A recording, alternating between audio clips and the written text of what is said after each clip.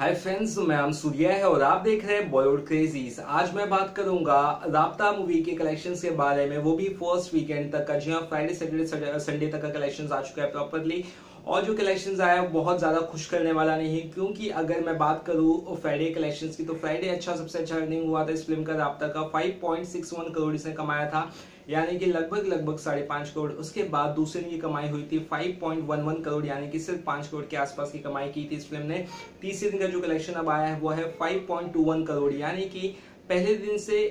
कम है थोड़ा और सेकेंड डे से थोड़ा सा ज़्यादा है। तो 5.21 करोड़ के कलेक्शन के साथ जो थर्ड डे का है टोटल कलेक्शन अब हो चुका है इस फ़िल्म का 15.93 करोड़ यानी कि अब 16 करोड़ पकड़ के चलिए 40 से 45 करोड़ का फ़िल्म का बजट है उस हिसाब से। 16 करोड़ फ़र्स्ट वीकेंड कलेक्शन बिल्कुल रास नहीं आ रहा है और मुझे लग रहा है कि ये फ़िल्म एक फ्लॉप फ़िल्म की लिस्ट में शामिल होने वाली है और बिल्कुल होगी क्योंकि ऑप्शन नहीं है इसके पास। कई सारे आसपास से इसको काफ़ी कंपटीशन मिल रहा है और साथ ही हॉलीवुड फ़िल्मों से भी कंपटीशन मिल रहा है।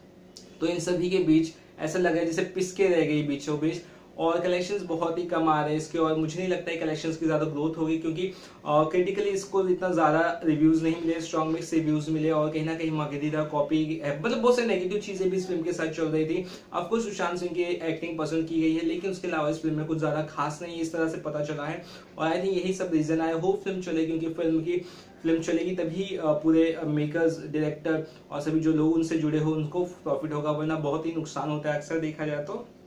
आ, तो ये कलेक्शंस के आंकड़े थे 15.93 करोड़ तो आपको क्या लगता है कहाँ तक इसके लाइफ टाइम कलेक्शन जाएँगे? मुझे लगता है मुश्किल से मुश्किल 25 से 30 करोड़ तक ये फ़िल्म कमा पाएगी लाइफ टाइम ऐसा मुझे फील हो रहा है। आप ज़रूर बता सकते हैं, आपके थॉट थॉट और कमेंट्स बॉक्स में डाल सकते हैं। और इसी तरह की वीडियोस आपको आगे भी देखने तो इस चैनल को सब्सक्राइब करना ना भूलिए और साथ ही मेरे नए नए channel not channel I mean मेरी नई website Bollywood crazies dot com पर विज़िट करना ना भूलिए वहाँ पे आपको अपडेटेड आर्टिकल्स डेली बेसिस पर मिलेंगे इंटरेस्टिंग आर्टिकल्स सिंपल तरीके से, सीधी बात नो बकवास वाले आर्टिकल्स तो आपको डिस्क्रिप्शन बॉक्स में डाल देता हूँ इसके लिंक मेरी साइट के, आपको वहाँ से भी मिल जाएँगे वीडियो के डिस्क्रिप्शन बॉक्स से। तो फ़िलहाल ये इतना ही, चलिए बाय